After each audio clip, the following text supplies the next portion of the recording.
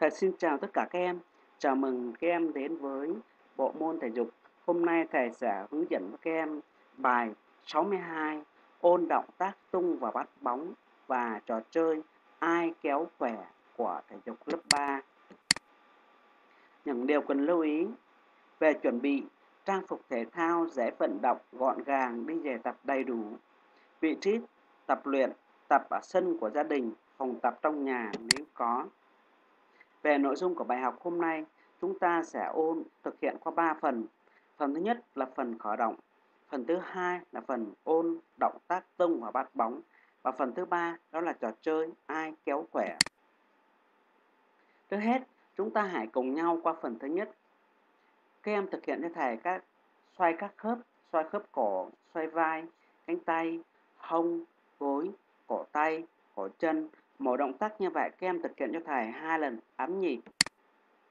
Sau khi khởi động xong, chúng ta sẽ tiếp tục học ôn về tung và bắt bóng cá nhân. Động tác này chúng ta đã học ở các bài trước rồi. Hôm nay thầy sẽ tiếp tục nhắc lại cho các em về cách thực hiện một lần nữa. Về tập luyện, các em tập luyện cho thầy theo hai cách. Một cách như vậy, các em thực hiện trong vòng thời gian từ 4, 6 tới 8 phút. Trước hết, chúng ta hãy cùng tập cách thứ nhất. Tự tung và bắt bóng.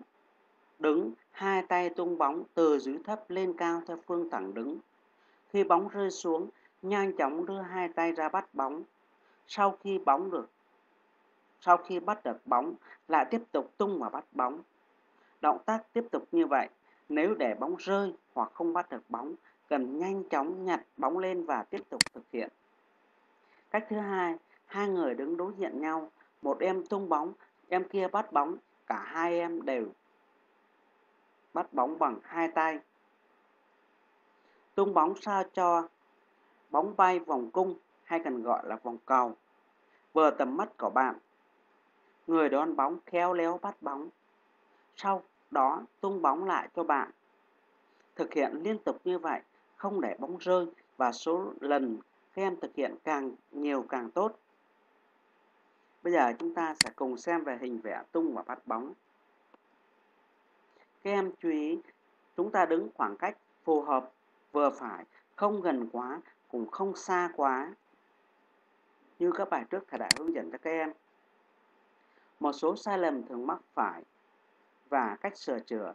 Đối với sai lầm, động tác tung bóng quá mạnh hoặc quá nhẹ, quá cao hoặc quá thấp, tung lịch hướng không bắt được bóng vì chưa phán đoán đúng tầm bóng hoặc động tác của tay quá cứng, nên khi thực hiện động tác tung và bắt bóng còn vụng về. Cách sửa chữa, tập luyện nhiều lần động tác tung và bắt bóng, phối hợp toàn thân khi thực hiện động tác và cách di chuyển để bắt bóng. Khi chuẩn bị bắt bóng, các ngón tay xòe rộng, tiếp xúc với bóng bằng các ngón tay cần nhẹ nhàng. Khi tung bóng, dùng lực vừa phải và hất bóng đi theo phương thẳng theo hướng thẳng phương hướng. Sau khi chúng ta ôn xong phần tung và bát bóng, chúng ta sẽ chuyển qua phần thứ hai, đó là phần trò chơi. Phần trò chơi hôm nay chúng ta tiếp tục chơi trò chơi ai kéo khỏe. Trò chơi này chúng ta đã thực hiện ở các bài trước rồi. Hôm nay thầy sẽ hướng dẫn lại cho các em một lần nữa. Về phần chuẩn bị, các em kẻ cho thầy hai vạch giới hạn song song cách nhau 0,2 tới 0,4 mét. Các em xoay người đưa tay thuận về phía trước và nắm lấy tay của bạn như hình vẽ. Chiếu là hình vẽ thầy sẽ cho các em xem. Người chơi đứng hơi co, chân trước mũi bàn chân đứng sát sạch giới hạn. Vị trí hai bàn tay nắm vào nhau ở khoảng giữa hai vạch giới hạn. Về cách chơi, khi có lệnh, các em kéo nhau, kéo đối thủ của mình làm sao cho bạn chân của bạn vượt qua hai vạch giới hạn đến sân của mình là thắng cuộc và ngược lại là thua. Sau một lần chơi như vậy, các em đổi bên cho nhau và các em thực hiện như vậy trong vòng 3 lần. Các em xem lại hình vẽ. Sau khi chúng ta chơi xong trò chơi, chúng ta sẽ thực hiện các động tác thả lỏng. Động tác thả lỏng chúng ta cũng sẽ thực hiện 3 động tác.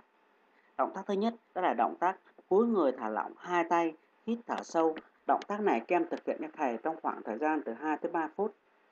Động tác thứ hai, đứng thả lỏng từng chân. Động tác này kem cũng thực hiện từ 2 tới 3 phút. Thứ ba, động tác đi thường nhẹ nhàng vòng quanh sân và hít thở sâu. Bài tập của chúng ta đến đây là kết thúc rồi. Thầy xin chào tất cả các em. Hẹn gặp lại các em vào bài tiếp theo. Và trong thời gian nghỉ dịch bệnh ở nhà, các em nhớ giữ gìn sức khỏe, thường xuyên rửa tay theo 6 bước khuyến cáo của Bộ Y tế để phòng tránh dịch bệnh.